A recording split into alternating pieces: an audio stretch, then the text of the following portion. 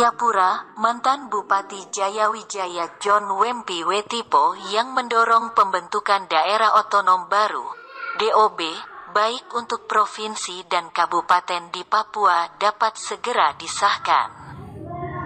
Mudah-mudahan proses ini bisa berlanjut, sebagaimana yang diharapkan oleh masyarakat, sehingga pembangunan di Papua bisa lebih cepat terlaksana karena wilayahnya terlalu besar atau tiga kali lipat dari Pulau Jawa, katanya ketika dihubungi di Jayapura.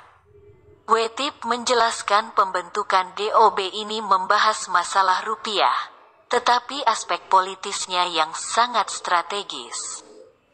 Sehingga kami berpikir apa yang sedang dan tengah diperjuangkan untuk pemekaran, bisa menjadi kenyataan demi kemajuan pembangunan di tanah Papua, ujarnya.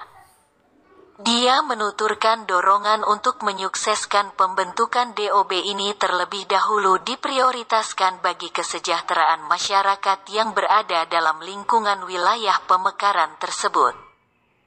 Apa pun yang terjadi, sikap politik yang sudah diambil para bupati dan perwakilan DPD RI sudah sangat jelas, antara lain mendorong pemekaran tiga provinsi di Papua serta jumlah kabupaten. Hanya saja, jadi tidak ada hal itu menjadi urusan belakang, katanya lagi. Dia menambahkannya, yang terpenting kini, harus mendorong terlebih dulu, jika nanti ada keputusan lain.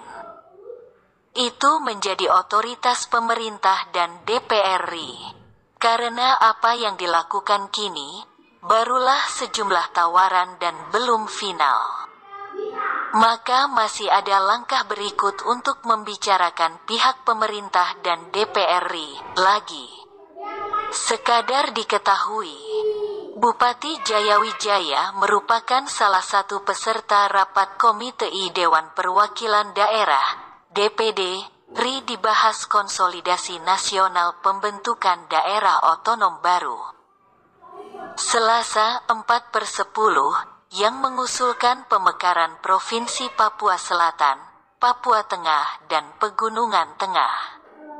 Dalam rapat tersebut juga mengusulkan pembentukan beberapa kabupaten baru di Papua, yakni Kabupaten Lembah Roufaer, Kabupaten Yamo, Kabupaten Moni, Kabupaten Mimika Barat, Kabupaten Mimika Timur, Kota Timika, Kabupaten Muara Digul, dan Kabupaten Atmi Korbai.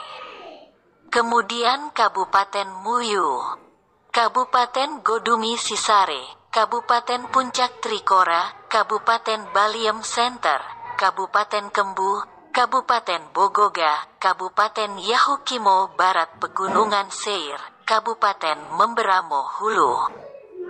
Kabupaten Yahukimo Barat Daya, Kabupaten Yahukimo Utara, Kabupaten Yahukimo Timur, Kabupaten Eroma, dan Kabupaten Yalimek. Selanjutnya, Kabupaten Ketengban, Kabupaten Biak Napa Swandiwe, Kabupaten Pulau Numfor, Kabupaten Yapen Barat Utara, Kabupaten Yapen Timur, Kabupaten Graim Nawa, Kabupaten Okha, Kota Lembah Baliem, dan Kota Merauke. Sementara dua proposal kabupaten yang mendapat pandangan DPD, yakni Kabupaten Sina dan Kabupaten Kirom Timur,